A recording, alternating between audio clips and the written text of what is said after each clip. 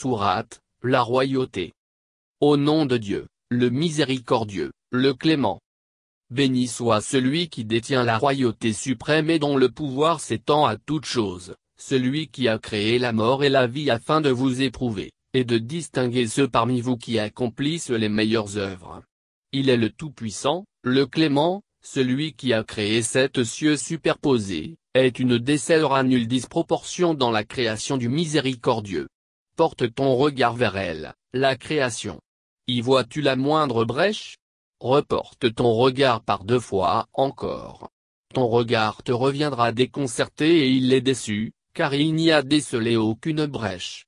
Nous avons orné le ciel le plus proche, de la terre, de flambeaux pour lapider les démons, et nous leur avons préparé le châtiment de la fournaise.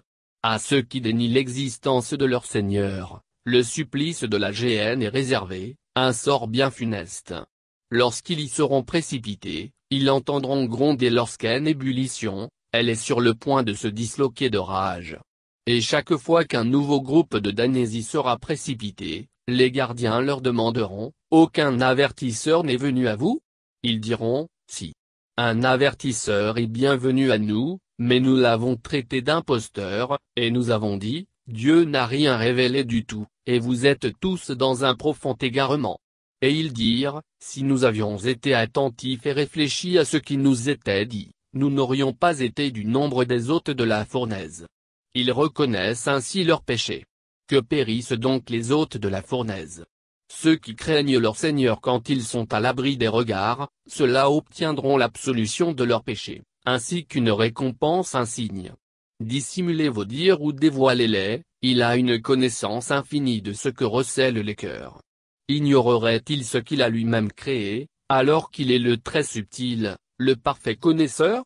C'est lui qui a mis la terre à votre service sillonnez-la d'un bout à l'autre, et mangez des biens qu'il a mis à votre disposition, à votre guise, mais, vous serez ressuscité et ramené à lui.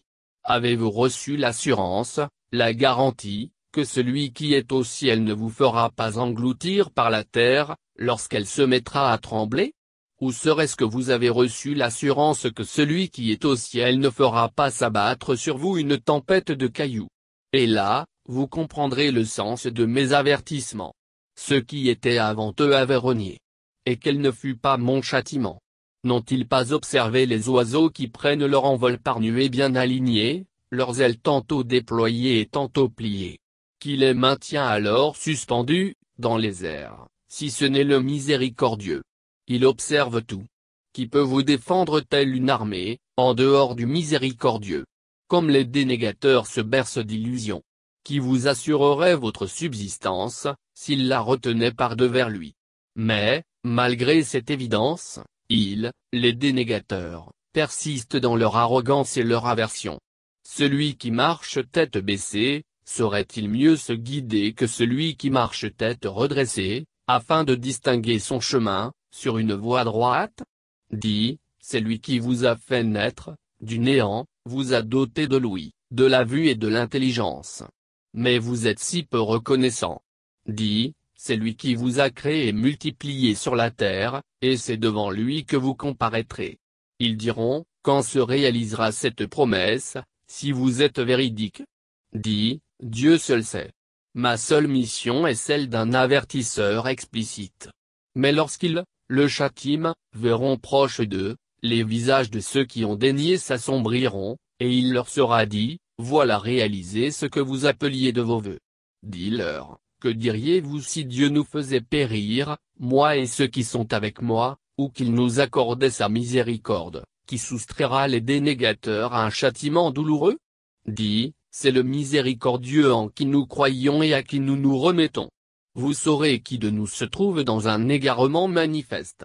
Dis, que diriez-vous si votre eau se perdait dans le sol, venait à tarir, qui vous procurerait de l'eau en abondance